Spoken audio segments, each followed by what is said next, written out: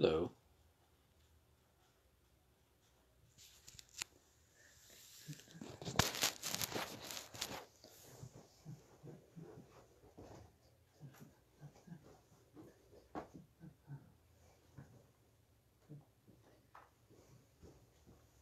Glory to Jesus Christ. So today is Tuesday, the 18th of August in the memorable year 2020. And we're at our Bible study today here at Holy Family on Second Peter. And last time I had mentioned that I didn't get enough time to look at some of the commentaries from the Ancient Christian Commentary on Scripture, Volume 9 in the New Testament, on Second Peter.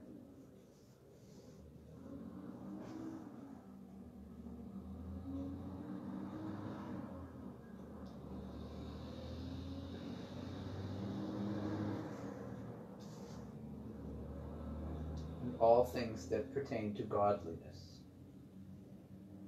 Peace and grace are the means by which God gives us everything we need in order to live a godly life. That's a theophylact.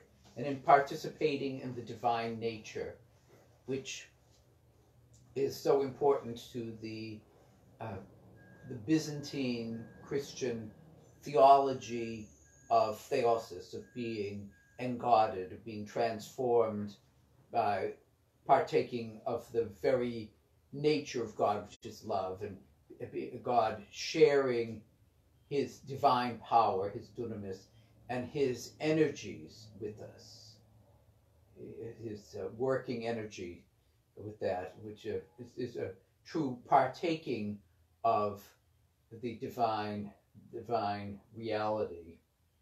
So we cannot know God in his divine essence but we can fully experience him in the energies, the divine energies. So, uh,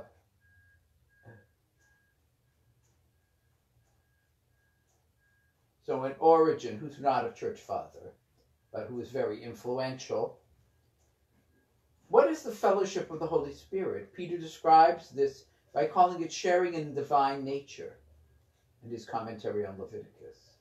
Escape from corruption, the word of Christ bestows immortality, but immortality is the companion of divinity, because divinity is immortal, and so immortality is the result of partaking in the divine nature. This is the commentary on uh, 2 Peter 1 4, partaking of the divine nature. The phusis to theo we become Christ bearers. Cyril of Jerusalem. When Christ's body and blood become the tissue of our members. So uh, in, in Eastern theology, uh, sacramentology, the partaking of the Eucharist, the very body and blood of Christ, If there's we when Christ's body and blood become the tissue of our members, we become Christ bearers and partakers of the divine nature, that states Cyril of Jerusalem in his Catechetical Lectures 4 3. The measure of God's nature, Hilary of Poitiers. Since the Christian is conscious of having been made a partaker of the divine nature, as Blessed Peter says in his second epistle, he must measure the nature of God not by the laws of our own nature, but evaluate the divine truths in accordance with the magnificence of God's testimony concerning himself. And St. Ambrose of Milan. Milan. The fact is that God made humankind a partaker of the divine nature, as we read in the second epistle of Peter. He granted us a relationship with himself, and we have a rational nature which makes us able to seek what is divine, which is not far from each one of us, in whom we live and move and have our being. Letters, his letters to priests, 49. And this is on page 132 in that ninth volume of the Ancient Christian Commentary on Scripture. Realize your dignity, Leo the Great. Realize your dignity, O Christian. Once you have been made a partaker of the divine nature, do not return to your former baseness of a, by a life unworthy of that dignity. Remember whose head it is and whose body of which you constitute a member. Sermon 21 3. Step out of your former nature, Hilary of Arles. Just as God stepped out of his nature to become a partaker of our humanity, which isn't exactly actually the case. He certainly, you know, Jesus remained the Word of God in every sense, uh, uh, but he did empty himself of his glory in partaking of our, our humanity. He stepped out of, quote unquote, his divine comfort zone and becoming human. So we are called to step out of our nature to become partakers of his divinity, which actually is the purification, healing, and fulfillment of our nature, this partaking of the divine nature. Becoming partakers, Bede the venerable. The greater your knowledge of God becomes, the more you will realize the magnitude of his promises. When God blesses us, he changes our very being, so that what we were by nature is transformed by the gift of his Holy Spirit, so that we may truly become partakers of his nature. His commentary on this epistle, 2 Peter. Grace enables participation. Andreas, God has blessed us abundantly. That is the meaning of this passage. We have received thousands of good things as a result of Christ's coming. And through them, we can become partakers of the divine nature and be turned towards life and godliness. Therefore, we must behave in such a way as to add virtue to faith, and in virtue walk along the way which leads to godliness until we come to the perfection of all good things, which is love. And that's the catena, the chain. And then verse 5, where he gives that the link up of all these uh, virtues and attitudes. Supplement faith with virtue, Bede. When Peter talks about virtue here, he does not mean the power to perform miracles, but the strength to lead a good life which means putting our faith into practice. Otherwise, it's dead faith. If we fail to do this, our faith is dead, and we become aiders and abettors of those who want to destroy any good works we may have done on 2 Peter. Steps to complete responsiveness to grace.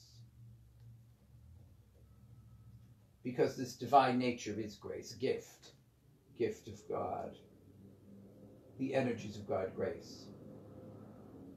Transforming, not just coating over, but infused and, and transforming. Theophylact. Peter lays out here the order which we are to follow to come into full maturity.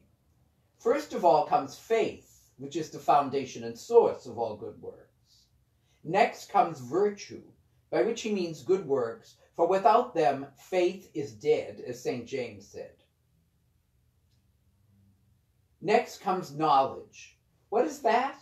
It is an understanding of the secret things hidden in God, which are not revealed to everyone, but only to those who continue faithfully in the works already mentioned. Commentary on 2 Peter.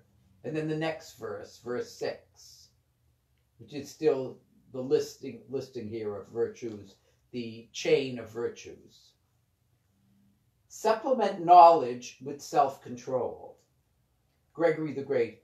Those who fast must be very careful to make sure that in running away from the desires of the stomach, they do not give birth to vices which are much worse, almost as if their virtue were producing them. For it is easy to mortify the flesh, but at the same time to become very impatient in spirit, and this impatience upsets the minds of many who abstain from the desires of the world. Commentary on Second Peter.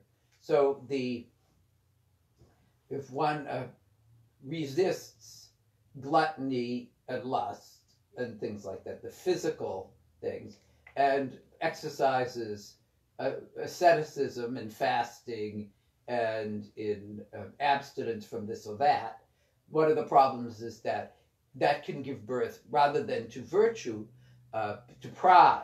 So humility has to always com- accompany every every act of devotion, especially acts of asceticism. Uh, but it, that has to accompany every good work. Indeed, it has to accompany every work of faith, because faith, which is primarily a gift, a grace of God, is also a work we have to cooperate with. We have to develop that uh, in cooperation with grace. Yeah, so, and then works that come out of faith, because faith, the profession of faith is a work that you're doing. That you know, if it's a work of the will, a work of the mind, but and then when you profess it, it's a work of the mouth. But the, those two won't be don't become the virtue of faith. It's only when we act on it, when we live it, then that's the that's the virtue of faith. Which the will is very important in that. The sanctified will, the healed will. Because our will cannot be fully free except by grace. Yes, we're responsible. We have a quote unquote a free will of that. We're not predetermined. We're not puppets at, at the fingers of God the puppeteer. Uh, but we're we're free agents. But we're damaged, damaged in the will, damaged in the intellect, damaged in the emotions, damaged on every level.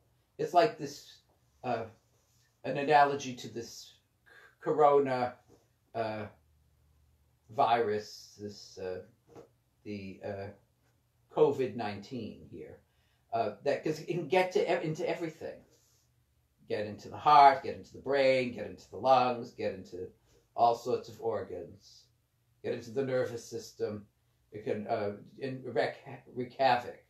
And so it is with uh, dead faith that can uh, wreak havoc or, or this uh, or, pride should we say pride as the vice it can get into everything and uh, destroy all the virtues. So it's, in a sense, humility is the only cure. Authentic humility. Self control with steadfastness. Bede the venerable. As people learn to do good, they will soon stop doing evil. If anyone does not do so, his knowledge of heavenly things disappears as if in a vacuum. So it's all a head head uh, belief. It's all head uh, stuff, and no, and not in reality. It's not living. It's a, a living spiritual knowledge impels us to virtue, impels us to good works, impels us to active faith. Self control requires steadfastness. So, self control is very important. It's one of the the fruits of the spirit. Uh, sometimes when they list it, they translate that as as chastity, which it is. That's an aspect of self control, but the self control goes through all all the levels, dealing with all the capital sins, with greed, with with uh, lust, with uh, gluttony, with anger, with all of this. We just need self control of this. And it's the grace that's the control. And as St. James talked about controlling the tongue, how crucial that is. Self control requires steadfastness because whenever whoever has learned to stay away from the pleasures of the world needs the willpower to go on doing so. The person who reaches the point of self discipline may truly be called godly. Again, uh, that's its commentary on Second Peter. Temperance and patience, Theophylact. Next in the list comes abstinence or temperance. Temperance actually is more than a, it's it's moderation is what what that is. It's not just uh, it's not abstinence, total abstinence per se. That's like, like some of the uh, uh, total abstinence groups called them uh, temperance societies. But uh, temperance society would be someone who is uh, very careful in drinking alcohol, but drinks alcohol. But the the abstinence would be to give it up altogether, which some people people who are addicted to it or people who are uh, psychologically prone to drunkenness uh, need to do.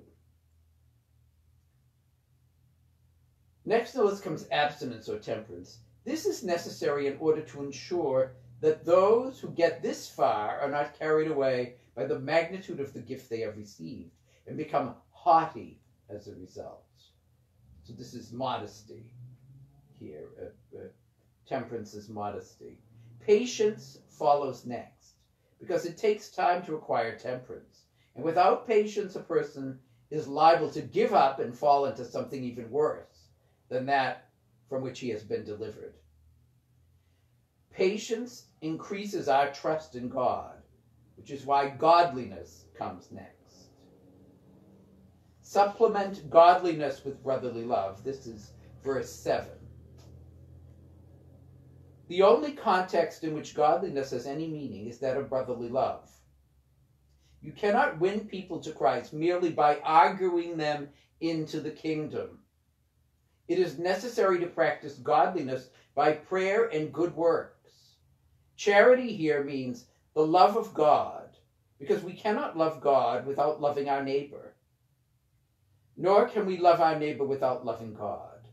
The love of God is greater than the love of our neighbor, which is why we have to practice it with all our heart, mind, and strength on Second Peter. It's also a sort of comment on Jesus' comment on uh, the uh,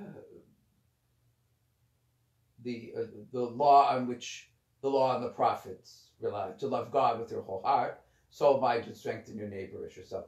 And this little passage, this little commentary read is worth uh, putting up uh, on your wall. It's it's really good. Supplement brotherly love, brotherly affection. So this is the Philadelphia that we were talking about before, uh, uh, last week. Supplement brotherly affection with love, Theophylact. The more we love God, the more we are like God, the more we are compelled by that likeness to love others, which is why brotherly love is next in the list. Finally, there is charity, the agape, which is the perfection of all virtues, as Paul also confirms in 1 Corinthians 13. And so the agape is not only the crowning of all the virtues, it's the motivation of all the virtues. It's the foundation of all the virtues. It's the life of all the virtues. So let's get to where we left off. And we didn't say our prayer for the Holy Spirit, name of the Father, Son, Holy Spirit, amen. Come, Holy Spirit, fill the hearts of your faithful, and enkindle in them the fire of your love. Send forth your Spirit, and they shall be created, and you shall renew the face of the earth. Let us pray, O God, who instructed the hearts of the faithful by the light of the Holy Spirit. Grant that, by the gift of the same Spirit, we may be always truly wise and ever rejoice in his consolation through Jesus Christ our Lord. Amen.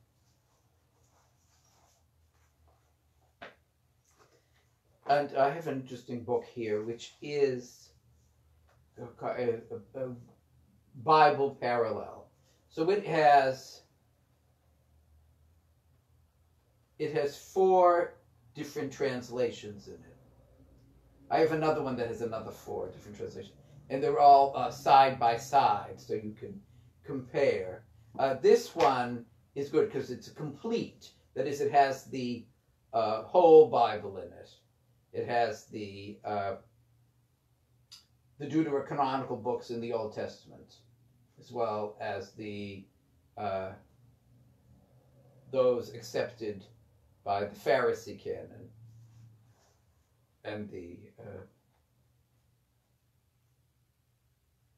the Essene canon as before. And the four versions in this particular one, which was published by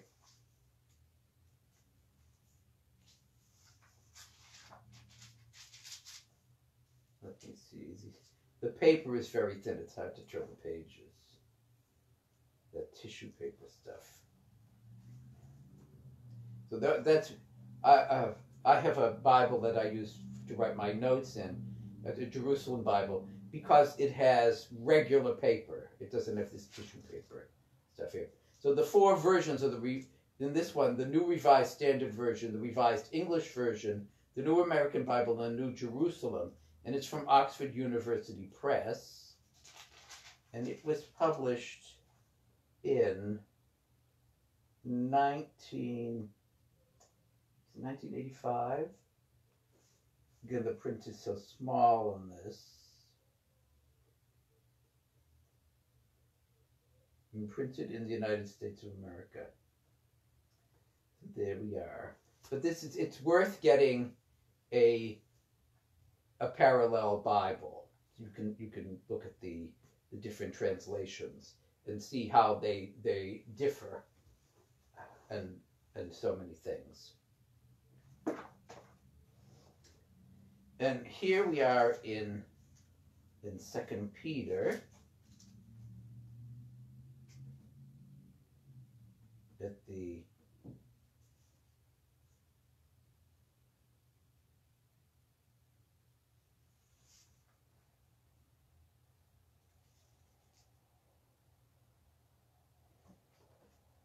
We elect the apostolic witness there. To uh, verse, we can start uh, back up and start at verse 8.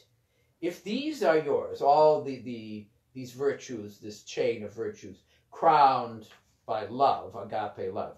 If these are yours and increase in abundance, this is chapter 1, verse 8. If these are yours and increase in abundance, they will keep you from being idle or unfruitful in the knowledge of our Lord Jesus Christ. Anyone who lacks them is blind and short sighted forgetful of the cleansing of his past sins. So, you know, so we've confessed our sin and we've gone against it, but then we just uh, turn on the faith. We go back to mortal sin, uh, and we uh, let the virtues atrophy, and, and or we break the chain of the virtues. We we just have one virtue. If you have one virtue, that it becomes a vice. An example I often use is zeal the virtue of zeal. But it's only the virtue of zeal if it's motivated by charity and by uh, temperance and prudence and uh, truth seeking and uh, compassion, uh, all of these other th- other other virtues. Otherwise, it becomes fanaticism. It is, is, destructive. It's a vice because you can have zeal for wickedness but it, it doesn't make it a virtue. The same is true of uh, knowledge. So you have uh, knowledge, you're cultivating a, you're seeking knowledge, and that's good. You you're reading, you're, uh, and I'm talking about spiritual knowledge here. You know, you're reading about prayer, you're reading about the doctrines of the church, you're reading the catechism, you're reading the Holy Scriptures, you're reading all these commentaries, you're listening to tapes, you're listening to CDs, you're listening to DVDs, you're all this stuff, you're watching EWTN, you're doing all this stuff. Well, that's good, but if you, if it's not uh, supplemented with uh, the other virtues, in particular love, agape love, then it's it's going to be useless. It, it will be a weapon used against people rather than used to help people. It will be uh, used to uh, cultivate arrogance and pride in its worst sense, and also, ironically, to cultivate ignorance, because you're not going to go after uh, knowledge that's going to threaten you, that's going to uh, challenge your egotism. So that so you have to have all these these things together. Otherwise, you're blind and cleansed and short-sighted. Therefore, brothers, be all the more eager to make your call and election permanent, as I mentioned last week. Permanent there, firm. So uh, this is uh, hard to square with once saved, always saved theologies, which Catholicism rejects. Uh, that uh, we uh, we have to persevere. Perseverance is so crucial a virtue, which Jesus talks about all the time, and uh, and to be alert. If if if you have it made, why be alert? It doesn't make sense. But uh, uh, and if you know no mortal sins can't take over again, if you if you believe that that it's impossible for you to have an actual mortal sin, even if you do gravely uh, wicked things, gravely sinful things, with full consent to the will and real knowledge that they're really gravely e- uh, evil, that it's profoundly distorted, disordered, and uh, contrary to the will of God. Uh, you know that, and you know it, it's a grave issue. You know it's not just you know a little white lie sort of thing. Then um, uh, you're not persevering in it. You are not making your election firm, your call and election firm permanent. For in doing so, you will never stumble. So if we're vigilant in this, in, in our perseverance, in keeping this chain of the virtues together and developing it, strengthening that chain, then uh, we won't stumble. We may uh, totter a bit, but we won't stumble and fall. But of course, as as First John tells us, if we do fall, we have uh, Jesus. We have we can repent. So it's uh, there are those who say, well, well, if you you've been forgiven once, and then you can they can quote all sorts of Bible verses. Uh, that's it. If you go back to that sin, there's no salvation for you. But that that's not the Catholic interpretation of that. The Catholic interpretation is we can uh, you can get up as often as you fall and relying on grace. This does not uh, wink at presumption, saying, well, you know, I'll get to that. So I'll, I'll enjoy my uh, grave sin while I'm at it. And I'll get to confession eventually or stuff like that. And I'll, you know, I'll, uh, you know, tell God I'm sorry, but not now. So that's, that won't work. For For in this way, entry into the eternal kingdom of our Lord and Savior Jesus Christ will be richly provided for you. So if we persevere, if we we don't have to worry. So we have uh, we have the Lord there. So uh, it, it, this worry is such a torment to the scrupulous who think every little thing is a sin. That everything's a sin. If I enjoy it, it must be it must be a sin. Now, you know, what you're enjoying might be sinful, I don't know. But everything isn't.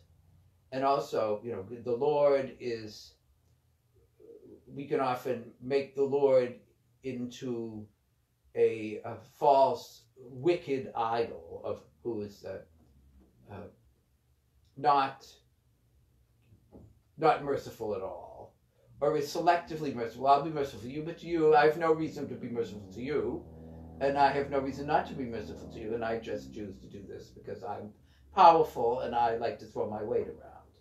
That that uh, that idolatrous, uh, even blasphemous version of God. And there are plenty of Bible verses you can get and string together to build to build all sorts of idols of God as as wicked and out of out of control, someone who has no sovereignty over himself.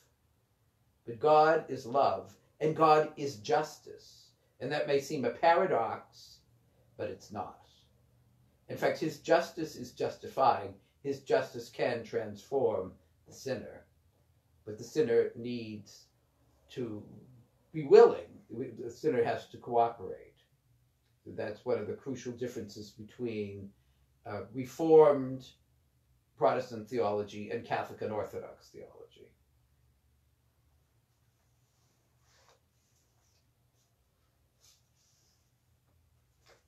it's soteriology there. Therefore, I will always remind you of these things. So that's what the teacher should be doing. So, uh, uh, my friend Father and I, because uh, often when I preach, I repeat a lot of stuff. Uh, it, I try to do it in different ways, of course, in different contexts and things, because because that. And I said, repetition is the mother of learning, but he said, but it's the sister of boredom.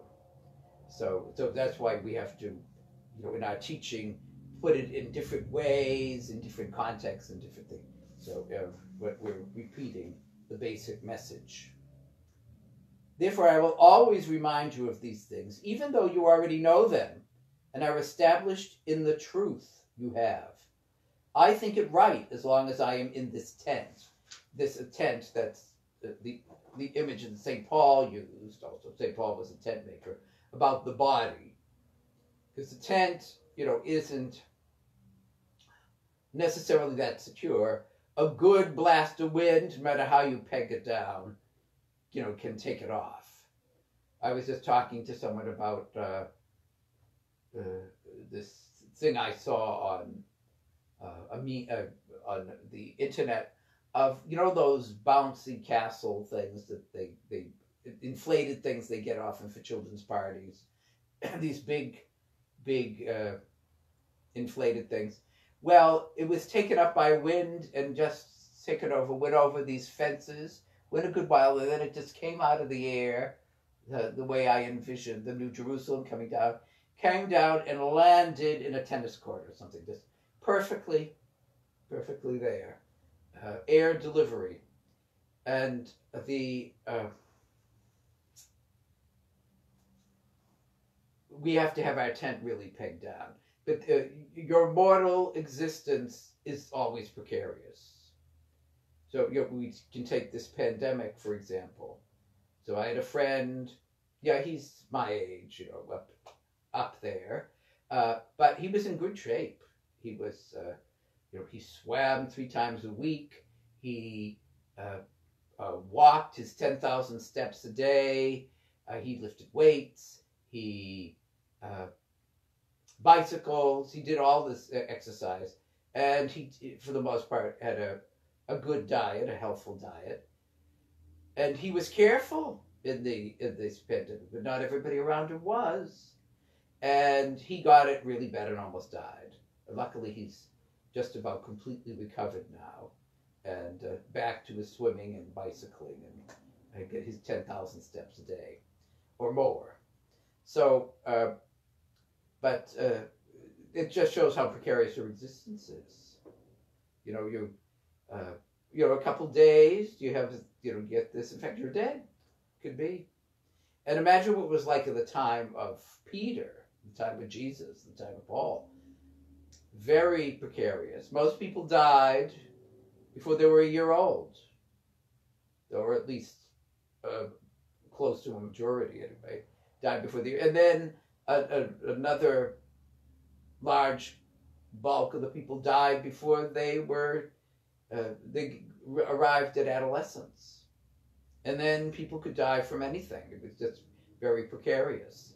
And they didn't know, they didn't have the germ theory, they didn't have all the medicines and medical practices that we have, and thank God for that. Thank the, uh, the scientists and the medical people who found these things and are applying that, especially now the heroism of so many uh, healthcare workers at this time during this pandemic but it's very your existence is your your material existence is very precarious. And Saint Paul used that image. He said this tent, uh, and he was talking about the the mortal existence and how he was a tent maker and he, you know, knew how to make good quality leather tents and other sorts of things like that that were made to last. Unlike a lot of stuff made today, which is has planned obsolescence and uh, they in those days people expected things to last, and so as a as a a person who took that tent making seriously, he made good tents, but, but eventually the tent would fall apart. It, it, it would it would decay. Something would happen, fall apart, and that's the way it is with the body. No matter how you know you exercise, you watch your diet, you follow your doctor's advice or something. You know, eventually, you know, the the caretaker is going to come and swing the keys and say, "Gentlemen, it's closing time." So there's we this tent. As long as I am in this tent, to stir you up by a reminder. As long as he's here in this in this life. Since now I know that I will soon have to put it aside, as indeed our Lord Jesus Christ has shown me. So, so uh, Peter was to be martyred, but he was getting up there, and so you know he knew that he would eventually be going from this life. I shall also make every effort to enable you always to remember these things after my departure. So that's one of the reasons of writing things down. For that, right, putting the oral tradition into writing, uh, that, which is what the scripture is, because it's not the whole of the oral tradition, it's a portion of the oral tradition. And should always be in in the context of the oral tradition and interpreted uh, uh, authoritatively only by the church. So, if you have a doctrinal interpretation that's contrary to that of the church and your interpretation of the Bible, you're wrong. And uh, the, the say, no, uh, I take this literally, and the church doesn't, or I don't take this literally, and the church does. Uh, something, you know, let's take the Eucharist, for example. But this is my body, this is my blood. My flesh is food indeed, my blood is drink indeed. So the historic church has always taken that literally, and not just the Catholic Church, the Orthodox churches, not just the Chaldean Orthodox, but the Oriental Orthodox, the Assyrian Orthodox, all of the ancient churches. And uh, the Lutheran Church also, this is believing in the real presence, not in, in uh, using our definition of, the, of transubstantiation, but they believe in the real presence. And then some, it's temporary, it wears off believe that, which the, that the Catholic Church rejects that. So the host and the tabernacle, Jesus is present there as when the priest says, "This is my body," and so, but you know, so well, well I, I reject that. So I'll go along with quote unquote something more logical, or you might say, "Oh, well, the Trinity, I reject that because this is how I interpret this," or uh, the deity of Christ is I want something more logical, and so I'll. Uh, but it's because that's not logical. The logic of love fit these things fit perfectly into the logic of agape love and the omnipotence of God. So you can go on on with that. Remember these things after my departure.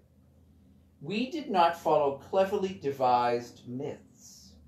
So the uh, the Gnostics at this, or the proto-Gnostics at this time, that, uh, the Gnosticism was this umbrella, is umbrella term for this intellectual and uh, mystical movement that, for the most part, uh, disparaged the material world.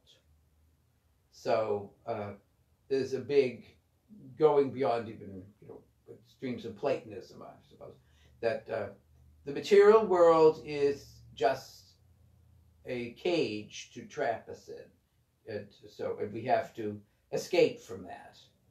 And the Gnostics say you do this by knowledge. No, sometimes it's just knowledge of uh, formulas and uh, incantations and stuff like that. Uh, secret knowledge, because they believed gnosis, that's one of the words for knowledge, along with episteme, but uh, gnosis is, is this experiential knowledge. And uh, they say, we have it and you don't. We have the esoteric uh, teaching. And they would take uh, different religions and they would just reinterpret it and uh, adapt it to their uh, philosophy of uh, escape and uh, reunion with the One, ultimately. And it had a great influence on the Manichaean religion and on which kept coming up and different manifestations, as in Catharism and these other things, uh, that uh, that was there. But uh, the proto Gnostics may be people there, and often they had Saint Irenaeus points out that the the mythologies that they had, they had conflicting ones, but some of them would say, oh, these aren't really conflicting because these are myths. They're symbolic representations of truth. Uh, so the, the Sophia, the, descent, the fall of Sophia, all these different ones, and and uh, different ones had different uh, eons, these sort of steps, uh, step beings up to the one, the ultimate, and um, uh, they had different and uh, and even gods. one form of Gnosticism had 365 gods, and they claimed to be Christian, but uh, one for every day. But uh, so, but this was an issue with these cleverly uh, made up myths, and of course he would be viewing this also the, as uh, a myth. He is here not in the positive sense of the word, but in in the uh, something made up our our view of it. That's not conveying a truth, but conveying an error in this thing. So uh, the, the Greco-Roman myths of the of the gods and, and the relations of the gods and all the stuff that they were doing, which were often not very edifying.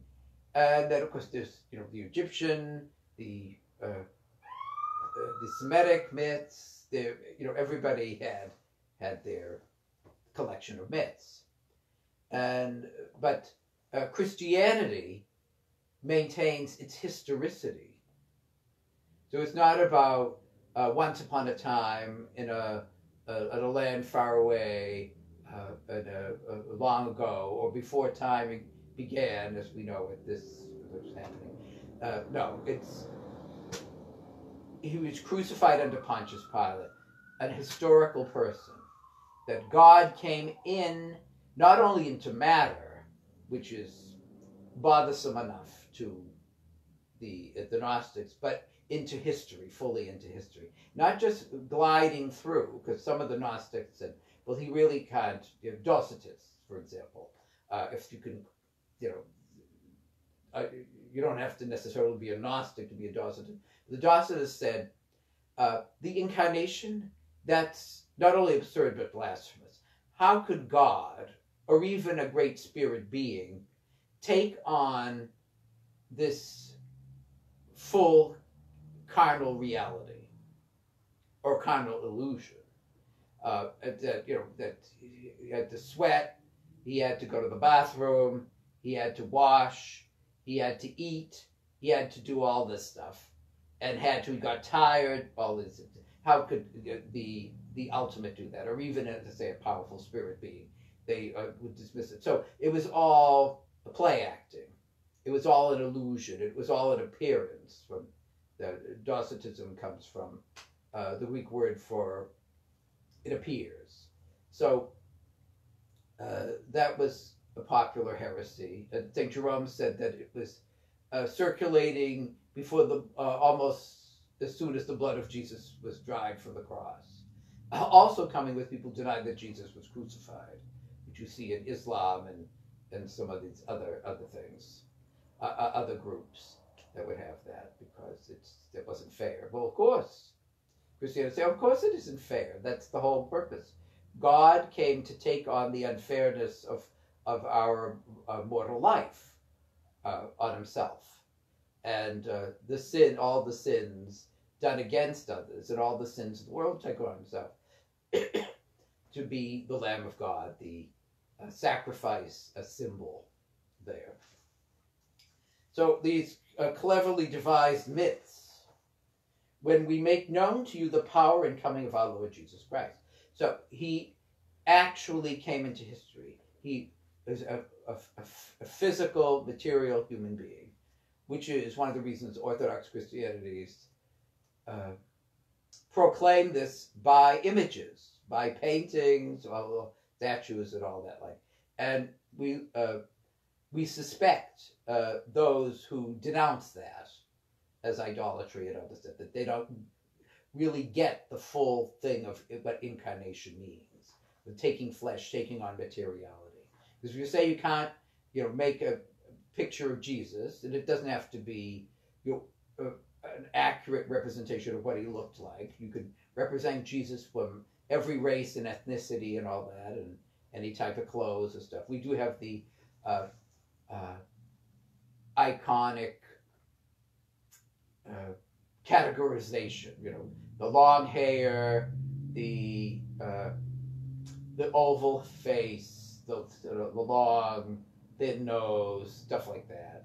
Uh, wearing a, a, white robe usually, or something like that, a long robe usually. You don't see him in uh, a business suit or stuff, ordinarily like that. And a beard, of course, a beard. Usually, not a usually big, uh, fluffy beard, but it's a, that's and uh, it's interesting. Buddha Gautama Siddhartha Sakyamuni, they also uh, focused on a particular representation, iconic representation of him.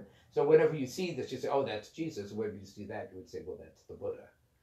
Whether he looked like that or not, I don't know. Although I actually believe that the Shroud of Turin, most of the evidence there, the only thing that's not is the it's the carbon fourteen testing, which many think that the testing had been flawed uh, on that, and uh, they may even have taken a piece of cloth from another uh, that wasn't part of the original shroud or whatever, but because it was in a fire, all this, all the sweat on it, all this stuff. But anyway, I believe the shroud, but it's my belief, and I'm I'm quite willing to have it completely disproved. It's not going to affect my faith anyway, uh, one way or the other. So uh, he's fully human, went through our full human situation. He didn't just blow through or uh, sort of uh, uh, uh, come on a slumming visit. No, he became fully human without ceasing to be fully God, but truly united as one person. And he was uh, miraculously conceived in that. And we don't see this as just some uh, made up story to illustrate something, because there are you know other, there are other virginal conceptions in uh, uh, in the uh, religious traditions of other religions, and and uh, uh, you can find all this stuff. So so people do that to try to quote unquote disprove Christianity, but we it's just no though this is historically this is actually this is as C.S. Lewis said the myth that's true. So uh, the uh, that he you know he actually died he suffered under Pontius Pilate, which I thought when I was seven years old or seven, six years old I think when we were learning it in the first grade, uh, in the Apostles' Creed, he suffered under a bunch of violence. That's what I thought. But Pontius Pilate, a, a person uh, that uh, we now have evidence, you know, from uh, a, a, a, seat plaque in, in Caesarea uh, Maritima that found other things, uh, and not just literary references. There's archaeological evidence for this person. So he came at a particular time through a particular had a particular DNA, particularly came into particular circumstances. It was all that. That and and we do not say that these are just made up stories, that all that. That's actually the case. So um, the, resurre- the resurrection actually happened, a physical resurrection. The ascension actually happened. The second coming actually will happen. We made to you the power and coming of our Lord Jesus Christ his first coming, but also his second coming. For he received honor and glory from God the Father when the unique declaration came to him from the majestic glory This is my Son, my beloved, with whom I am well pleased. So Peter was one of the witnesses of that at the Transfiguration, when Jesus is shines with the uncreated light of of the energy of God, and uh, he's there with two people, one of whom is definitely dead, uh, Moses, and Elijah, who is definitely out of the spatial temporal picture of, of this world. and he's conversing with them. They know what's going on and all the stuff. They're quietly conscious. We converse with them, and Peter becomes the spokesman of the three men there, and he says, uh, "Let's uh, let's build some shrines for you here and just just uh, bask in the glory of this." After being a fright, frightened by all this that he's getting it, but no, they're to be sent back into all this, and the voice that comes this is my beloved Son, with whom I am well pleased. So, uh, you know, Jesus fulfilling in his actions there, in his, his actions as prophet, his actions as Messiah, his actions as someone really fully incarnate, uh, that's pleasing to the Father. Said, We ourselves heard this voice come from the heaven while we were with him on the holy mountain, with with uh, Peter Simon was with the brothers James and John, the fishermen that he knew uh, from Galilee uh, before this happened, before you know they got into the into the Jesus movement there. Moreover, we possess, and traditionally that mountain is Mount Tabor in Galilee.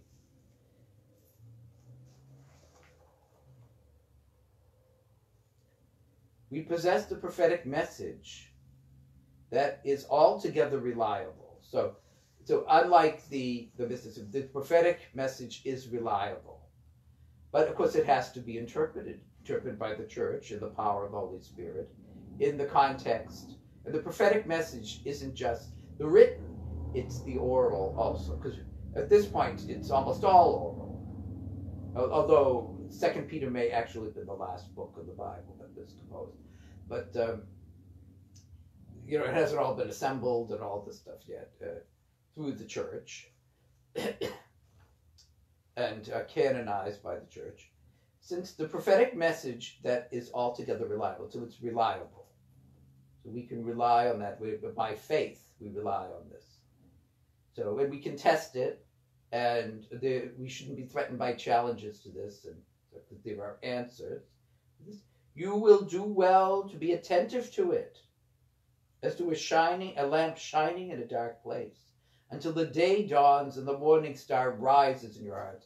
This beautiful image, this dawn image, and the uh, so we uh, accept Holy Scripture as the inspired Word of God, as God breathed, and we approach it in holy tradition uh, in the church.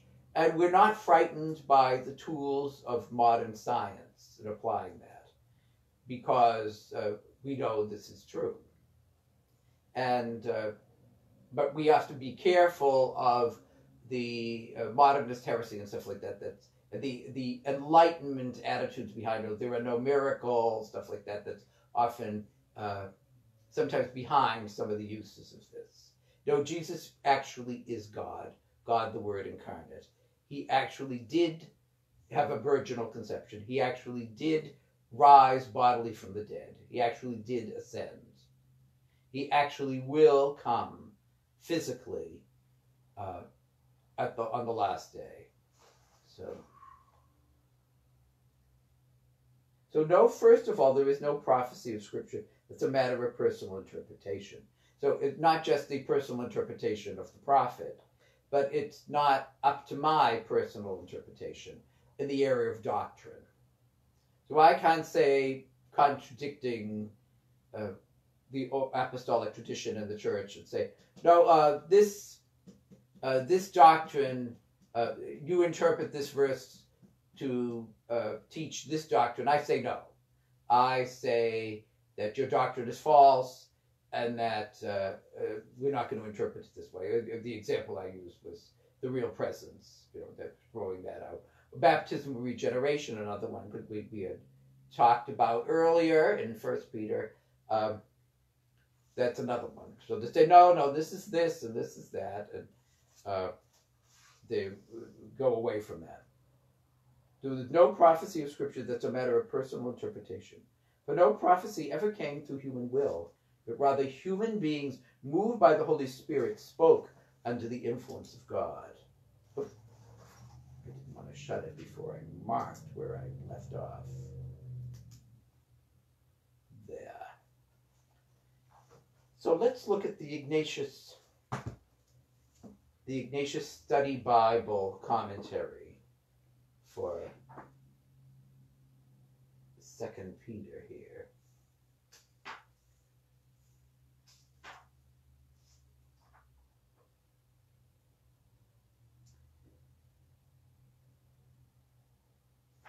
Participation in divine life comes through the sacraments, was it's talking about the uh, partaking of the divine nature in especially baptism there.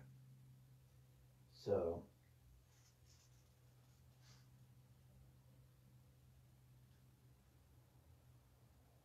cleansed from sin. This is verse 9. Experience first in baptism, Acts 22 16. Then in an ongoing way by confessing our faults and seeking the Lord's mercy, Matthew 6 12, 1 John 1 9. The point here is that forgiveness obliges us to mend our ways and to make progress in holiness. Your call and election, verse 10. Believers are chosen and called by God to be his own people in Christ. The status is maintained and confirmed by living the faith and attaining the virtues of gospel morality outlined in 2 Peter 1 5 through 7. It is jeopardized, however, if one becomes re entangled in a life of sin. The danger that one might fall shows that confirming one's election is a matter of real and crucial importance. That is, it cannot be reduced to a merely subjective or personal reassurance that one's salvation has already been eternally secured. So it's eternally willed but it has to be temporally secured. We have to persevere. When we're dead and we've persevered in grace, then we will know eternal security. In verse 11, the eternal kingdom, union with God in heaven, is the kingdom of God in its fullness and perfection. So we're beginning, we're citizens of heaven, we're beginning to live in it. We have the foretaste, but the fullness is that unobstructed union with God, which the state of heaven is. So uh, Peter wants readers to remember that he taught them after, to, to remember this after his death. This focus on the future leads some scholars to claim that Second Peter exhibits characteristics of a testament, a popular literary form in Judaism, in which great figures of biblical history bequeath to posterity to austerity a series of prophecies and ethical instructions on their deathbed. So you see, you know, the, the uh, Testament of the Twelve Patriarchs, or these various uh, pseudepigraphal works that uh, claim to be written by these people and weren't. But uh, which doesn't mean that uh, a text, if it's claimed to be this, isn't inspired or isn't of the school of someone like let's say Deuteronomy or Isaiah, for example. But uh, these these aren't these aren't uh, uh, scriptural, but they're very interesting. This body, verse thirteen, literally this tent, an image that signifies the temporary duration of our bodily life on earth. Wisdom nine fifteen, Isaiah thirty eight twelve. For the saints, these tents are folded away at death and give way to a permanent dwelling in a resurrected body. See the note on 2 Corinthians 5 1, which we talked about uh, just a few minutes ago. Christ showed me, verse 14. Christ warned Peter that he would die a martyr in his old age. John 21 18. It says, you know, you'll be, your hands will be tied and you'll be led where you don't want to go.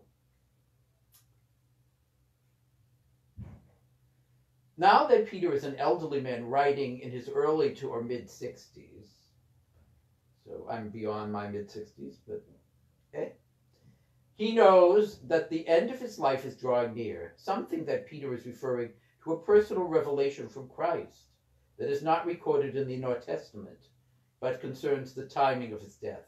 My departure or my exodus. So exodus is out of the way or way out. So uh, the death as an exodus from the grief of this life.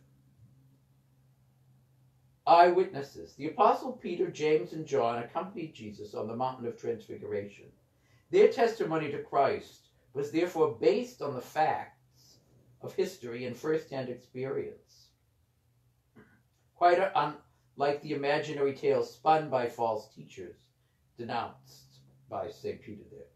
The past revelation of Christ's glory is considered a preview of the future revelation of Christ's glory at his second coming. See the Catechism of the Catholic Church, paragraphs 5, 54, and 55.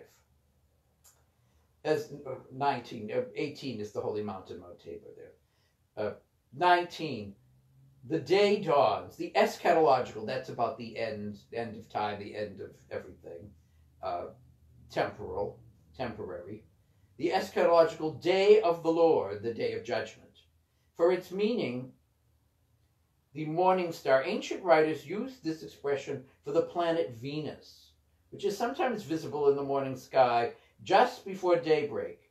In addition, the expression is probably an allusion to Numbers 24:17, where the star that rises out of Jacob is seen in Jewish and Christian tradition as a prophetic image of the Messiah, as in Revelation 22:16. Peter connects this with the return of Christ in glory. An event that will dawn upon the world at the end of history and bring joy to the heart of every believer who is eagerly awaiting him. Hebrews 9:28. Verse 20. One's own interpretation. The spirit who inspired the prophecies of the Old Testament is alone capable of interpreting them. And that's worth repeating. The Spirit, the Holy Spirit, who inspired the prophecies of the Old Testament, is alone capable of interpreting them. By contrast, merely human intelligence can never ascertain their proper meaning without the divine assistance of the Spirit. The ramifications of this teaching are implied rather than stated. For Peter does not identify those who are authorized to give a correct interpretation of Scripture. That is the church. Some contend that every believer who possesses the Spirit is automatically qualified for the task. But no such teaching can be found in the New Testament. Also, experience goes against that because prayerful, godly people who sincerely approach the scriptures come up with completely contradictory interpretations. So uh, they could all be wrong, or one could be right, but how do you know? You know, I claim I have the Holy Spirit. No, I have the Holy Spirit. I have the Holy Spirit. I have the Holy Spirit. Uh, oh, we all have the Holy Spirit. But if we all have the Holy Spirit, uh, and we're the ones who are supposed to interpret it, why do we all have the a different interpretation of something important? This is you know about you know should we uh, chew gum or not or something.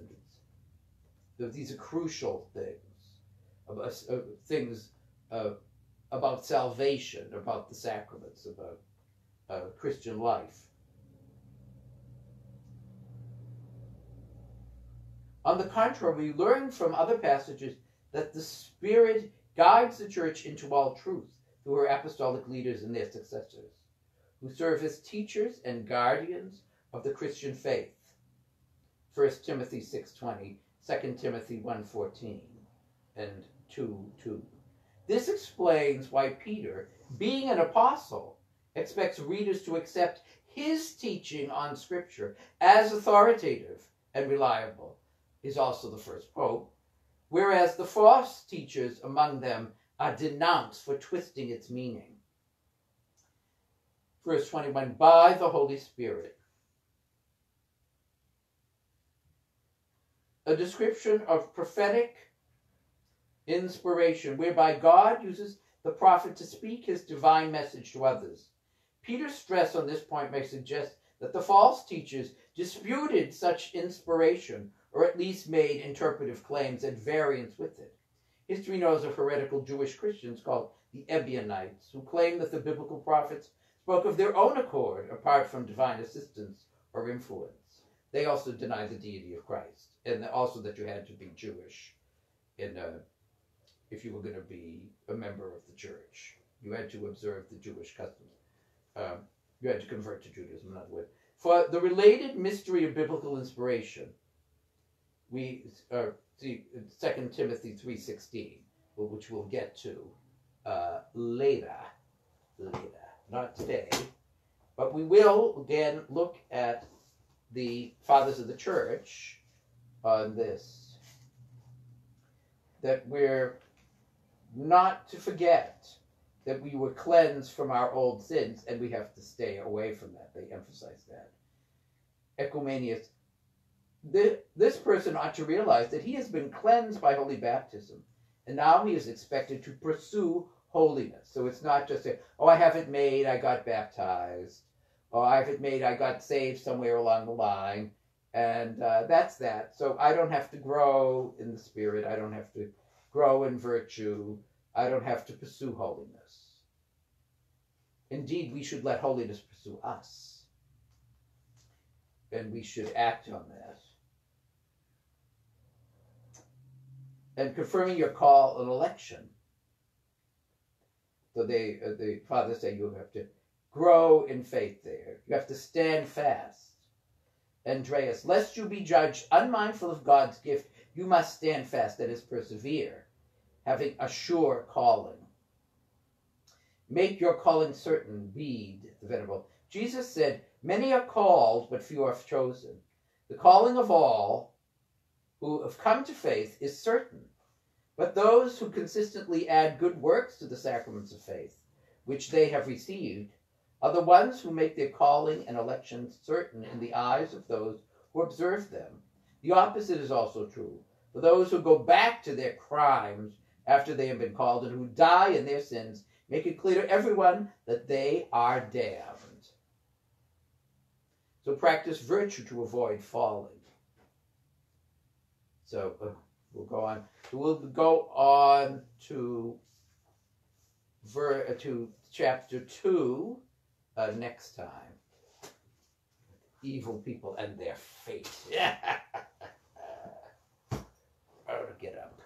Oh, let's, and may Almighty God bless you, the Father, the Son, and the Holy Spirit.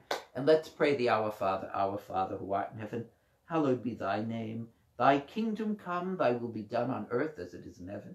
Give us this day our daily bread, and forgive us our trespasses, as we forgive those who trespass against us. And lead us not into temptation, but deliver us from evil. Amen.